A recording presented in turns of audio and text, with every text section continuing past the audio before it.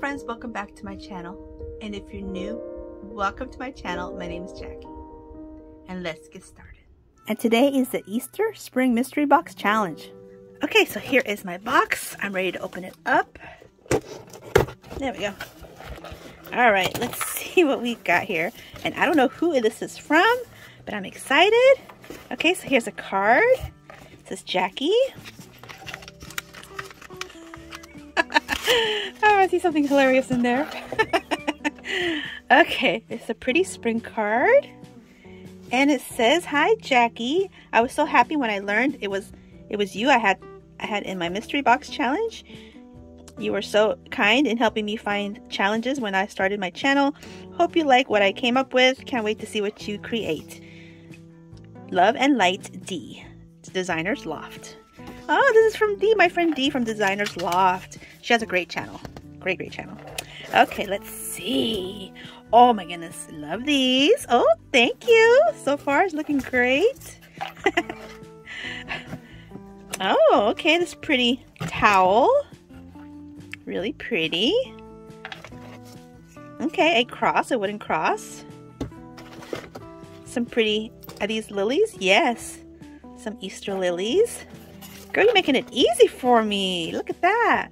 Some of this new purple vinyl paper from Crafter's Square, Dollar Tree. Okay.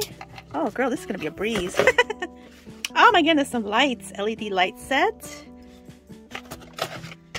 And some of the cross laser cut craft icons in the cross shapes. One of these super cute Bless This House hanger. So it's got a hanger and it's MDF. Okay, this one is going to be a challenge.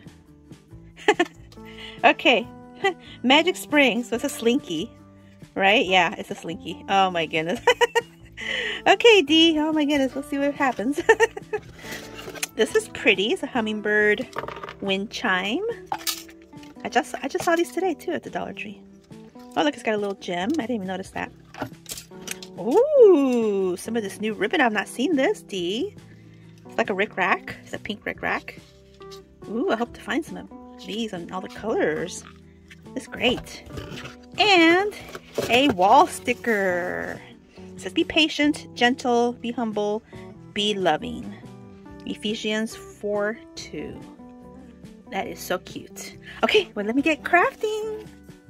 For DIY number one, I'm going to begin with one of these MDF cutting boards that my friend Tammy from Happiness Created sent me and I'm going to pop off the top and I'm going to take some paper towels and soak this up with some water that way I can remove the paper up top easily and I don't put anything in the center because the paper was removed when I removed the top.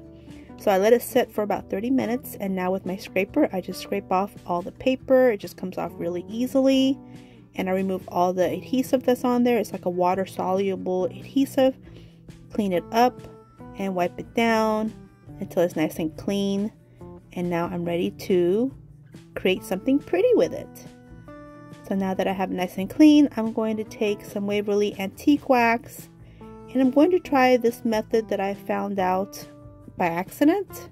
I've never seen anybody else do it, but I figured it out by accident, so I'm going to do it on here and I'm going to show you more than I usually show because I, to me it's new. So I'm just going to add some water to it and I'm just going to brush it up and down the whole part, the whole thing, and I'm going to take my heat gun and as I'm adding heat to dry it, I'm going to continue to brush up and down. And this kind of creates a faux wood kind of look. So if you can look, if you can see, it starts forming, it starts showing and you can see it. It's looking like a real cutting board. I thought that was so cool. You guys gotta let me know if you've seen this method before or not. But look at that, it looks just like a cutting board. And now I'm going to work on the top part of the cutting board, remove the thumbtacks, and soak up the top with some paper towels the same way. Remove all this extra paper till it's nice and clean wipe it down, remove all that glue. And now I'm going to go in with the Folk Art chalk paint in the color White Adirondack, give it a nice full coat. And I'm going to use my item number one, which are these beautiful spring rub-on transfers. I love these, they are, they are so beautiful. So I'm just going to remove this sheet and I'm going to use this whole piece because it almost fits on here perfectly. Little top of the S on spring kind of gets gets removed, but it's just a tiny little part. The, the majority of this whole sheet fits on there perfectly. So I thought, hey, that's going to be great. So I'm just going to rub it with my Cricut uh, scraper and just rub, rub, rub and start peeling up the sheet on top, the protective sheet. And as if, if I see some pieces not adhered, then I'll just keep scraping until it's on there, until I'm all done. So it looks like this. And now I'm taking two pieces of this lace ribbon and I'm going to frame this piece to help conceal the edges that are that didn't get any of the rub-on transfers. And I'm just going to use a little dab of glue on both ends on both sides until it looks like this. Super cute. And now using a rubber mallet I'm going to place these thumbtacks back on there until they look like this. Now I'm ready to adhere this decorative piece onto my faux cutting board. And I'm just going to douse it with lots of hot glue. Make sure it's going to be nice and secure on there. I don't want it to pop off because I'm definitely keeping this piece. I love it. I think it's so cute. And I'm just going to press it on there. Now once that's on there and set now I'm going to take this burlap ribbon from the Dollar Tree and I'm going to create a quick little bow. So I'm just going to snip off the excess that I don't need. And I'm going to cinch it in the center crisscross it in the front, cinch it in the center, and take a piece of jute twine, wrap it around it, and take it to the back and secure it with a double knot until it's nice and tight and secure. And if your bow gets a little bit tweaked, no problem. You just tweak it back up after you're done cinching it and securing it. So see, this one got a little bit kind of tweaked out, but that's okay. It's an easy fix. And once I'm happy with this simple bow, then I'll go ahead and dovetail the ends to make it look more high end. And I'll do this to both tails, of course. Snip off the little ends. And then I'm ready to adhere this bow onto my faux cutting board, my little spring faux cutting board. So I just add a dab of glue and place it on the top. And now I'm going to take a few sprigs of boxwood from Walmart and I'm just going to add a couple dabs of glue and place a couple sprigs behind the bow couple of these, of these cute little flowers from the Dollar Tree on the front, and a couple more little sprigs of the boxwood underneath the flowers just to give it a little bit more decor, more embellishments, because you know we love our embellishments, bows and embellishments. so here it is, nice and ready. So now here I'm taking one of these Crafter's Square easels, and they're just made out of wood, and I'm just going to set it on top and display it in my kitchen where it's going to look fantastic. And here's how it looks and a closer look at the final reveal. And this video is a part of the Easter Spring Mystery Box Challenge and our gracious hostess is Tammy over at Happiness Created and she was sweet enough to get a nice group of us together to participate in this challenge and we each sent each other a box of 8 to 10 random items and we are to create with these 8 to 10 items and there's a playlist so when you're done watching my video please head on over to my description box and view the playlist. I'm excited to see what everybody created and you'll be able to see who I sent my box to and what I sent them.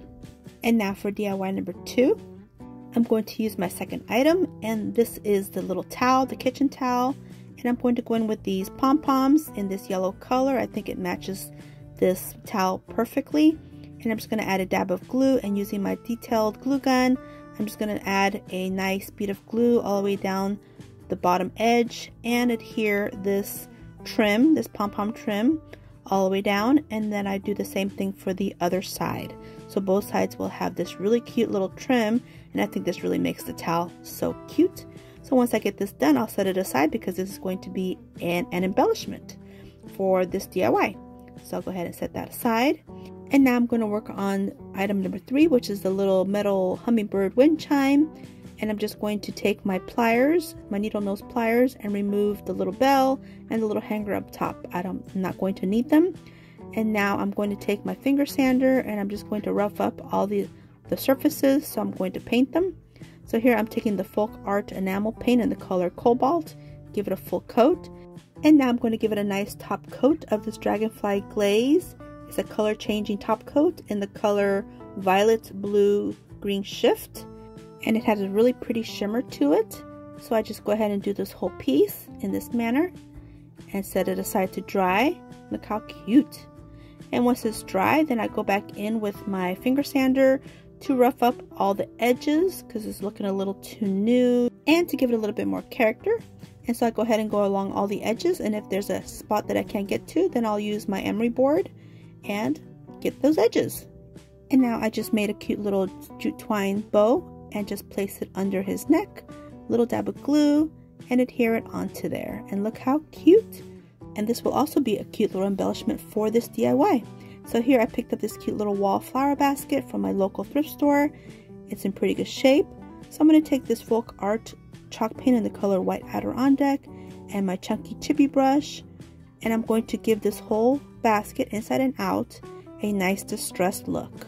So I'm just going to take my time and give this a nice thorough coating until it looks like this. And now I can start to assemble my flower basket. And so I'm going to add a piece of floral foam inside. And I'm going to use item number four, which are these pretty lilies. And I'm going to snip them all off their base. And I'm also going to go in with this berry pick and these peonies from Walmart. And I also use these blue flowers as well, but I don't show it right now. So here I'm going to begin by placing my little towel in the basket and all the pom-poms will give it a decorative touch. So just get it to this point and now I can add my flowers just like this. And now I want to go in with this really cute decor piece. It's an MDF sign with a hook on the bottom. So I take my mini screwdrivers and remove all the screws off the back. And now I'm going to take my heat gun to soften up all the glue because I want to remove this frame. So I take my scraper and wedge it in there and pop it all off as easily as possible. And now I'm taking this hook putting a little bit of hot glue on it and I'm going to adhere it on the top part of this frame piece towards the back so the hook is kind of kind of like going over the back and once I get that on there then I'll take the little screws and secure the hook back on and now I'm ready to place my little frame back on so I just take this little frame it goes on there perfectly so I just add some hot glue do a few beads of glue around the perimeter of this square and just place it back on there. Hold it tight until the glue sets and this one is done. I just kind of reconstructed it, I guess, kind of reconfigured it. And now it just hangs on my basket. So now I'm going to take some of this burlap ribbon and create another bow, but I already showed you guys how to do it, so I just made it really quick. Add a dab of glue and place it where the hook is on this MDF frame that says bless our house. So here I'm using item number six and it's the little lights and I added batteries and the lights are blue. And here I put everything together. Here's how it looks and a closer look at the final reveal. DIY number three. I'm going to begin with this egg-shaped wood piece from the Dollar Tree and I'm going to do a Chalk Couture project. And I have this really cute Chalk Couture Easter egg with all these embellishments. So I'm going to fuzz my transfer a good six times because it's a brand new transfer and I'm going to place it on my egg, try to line it up as best I can. And I'm going to go in with six different colors, Ocean Mist, Sunny Side, Bright White, Wisteria, Eucalyptus, and Marvelous. And I'm just going to have fun, take my time, and try to give it a nice unique look and make it look cute. So here I'm removing the transfer and look how adorable. And if I missed any spots, I'll just go in with my paintbrush and some more of the chalk paste until it looks good. So here I'm taking some Waverly chalk paint in the color celery and doing the back part of it because this DIY will be double-sided and I'll go in with the wall decal like this and some of this rickrack trim. And I'm just going to adhere some of this trim on the top portion of this egg on both sides to kind of create a hanger but yet give it a cute look for the top. And so I'll just do a little dab of glue on both sides and it's just a little hanger. So now once that's done, I found these really cute gingham colored ribbons from the Dollar Tree and this one's in a lilac. And so I'm doing a cute little bow and this one will go on this back part, the back side of this egg to kind of go with the flowers that are in this wall decal. So place it here on the very top and then I'll flip over the egg and on the back on the front side which is the front side I'll add some of the green and white gingham ribbon from the Dollar Tree. And I'll create another cute little bow, add a dab of glue, and place it on the top of this side of the egg. And look how adorable! And this is the front side, and this is the back side, and the closer look at the final reveal. For DIY number four, I'm going to take this wood round, and I purchased this at Walmart. It's made by Plaid. And I'm going to go in with Waverly chalk paint in the color Plaster. And I'm going to take some painter's tape and create a line and I'm going to paint the bottom part with this Waverly chalk paint in the color Celery and remove the painter's tape. Then I decided to do a second part on the bottom. So I go ahead and do the same thing. Place the painter's tape on there and go back in with the Celery chalk paint. And now it's ready to go. I think it's really cute. And now I'm going to use item number nine, which is the purple vinyl. And I'll create decals that say welcome spring and so I go ahead and get it ready to place it on my small wood round. Now I noticed the W on welcome was a little bit further from the word, the rest of the word, so I added the W first, then lined up the rest of the word, used my scraper, and peeled off the rest of the word until it's nice and pretty. And I go ahead and do the same thing with spring. And now I'm going to embellish it with this burlap bow that I made, and I had placed a little piece of boxwood and a little piece of this lilac flower and some more boxwood on the bottom just to embellish it some more just little sprigs of it here and there I think little sprigs make it look a little bit cuter than the real big pieces of sprigs and I'm going to secure the tails to the wood round. That way they're not flapping around all over the words. And here it is. Here's how it looks. Closer look at the final reveal. The DIY number five. It's time to do the slinky. Oh the slinky. So go ahead and remove it and play with it for a minute while I'm trying to get inspiration. Then I decide, okay, I'm going to cut this in half. So I take my scissors, my EMT shears, and just go ahead and just snip it off in half. And now I'm going to go in with these two empty ribbon spools. I'm going to utilize them. They were in my stash. And I'm going to wrap a portion of the slinky around the inside of this spool. And this portion will be the top of my cute little flower pots. So once I get that done, then I'll set this down on the table and take my hot glue and secure everything in place with glue all the way around the inside diameter and up the sides as well. That way the slinky stays nice and sturdy, nice and still. And I'll go ahead and do this the second one as well. So I get them both done. And now I'm going to take another couple spools, empty spools, and I'm, these are going to be the bottoms of my pots, my little floral pots. And I'm just going to adhere them with some hot glue and I'll do this to both. And now I'm going to go in with some of this really cute floral ribbon. It's new, it's an embossed ribbon from the Dollar Tree and it almost has that birch wood look. But first I'm going to give this a nice coat of paint. And once they are dry, now I can go in with the ribbon and it's almost like a paper so you can tear it. So here I'm going to figure out where I need to tear it and the two sections and once I get it torn then I kind of figure out how much I need of it tear off the pieces I don't need and add some glue and adhere the pieces onto the slinky that's going to become a cute little pot for my flowers for my faux flowers my silk flowers. So here I go ahead and did one section. Here's the second section. And adhere that piece in place. And now here they are both done. And now I'm going to go in with some of this metal ribbon from the Dollar Tree to give it another texture, to give it a metal element to this piece, just to make it more ornate. And I think this ribbon is really pretty, very ornate. So I go ahead and use my E6000 because it is metal.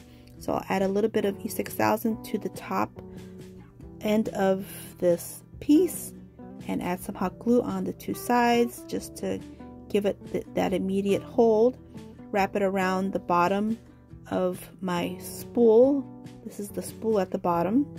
And I'm going to secure it with some more of the E6000 and some more of the hot glue. And then I'll hold it in place with some of these thumbtacks that I had. And since this bottom piece is a cardboard, because it's a spool, then the thumbtacks go right in and it holds everything in place. And these are just temporary, just till it dries. And I do this to both and once they're dry then I remove the pins they come right out and I'll do the same thing to the top and now I have them ready and here's my little plants that I found at the Dollar Tree. They're hydrangeas and I just stick them inside and that is it.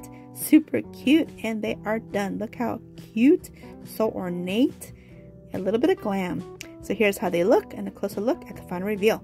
And now my last two items, I'm going to save them for my Saturday video. It's the second annual He Has Risen collaboration because I already used 10 items. And now we're at the final reveal. Let me know what you guys think.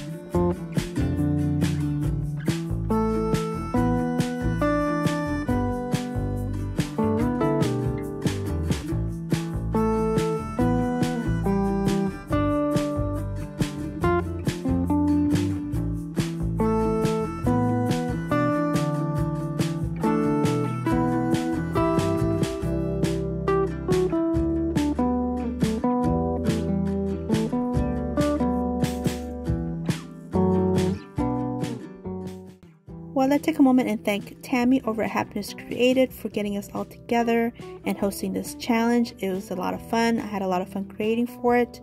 And don't forget to check out her channel. She is a fantastic crafter, as well as Dee from Designer's Loft, who sent me my box. She is fantastic, a good friend. So happy that she sent me my box. I had a lot of fun creating with it. And if you want to see who I sent my box to, please head on over to my description box, follow the playlist link, just click play and enjoy the playlist. It's going to be full of humor and cr creativity and so much fun. And I hope you guys enjoyed this video. And if you did, please give me a thumbs up. I'd really appreciate it. And don't forget to subscribe if you haven't yet. And if you want to see more, definitely subscribe. And until my next video, stay healthy, safe, and strong. And have a great, great day. Bye-bye.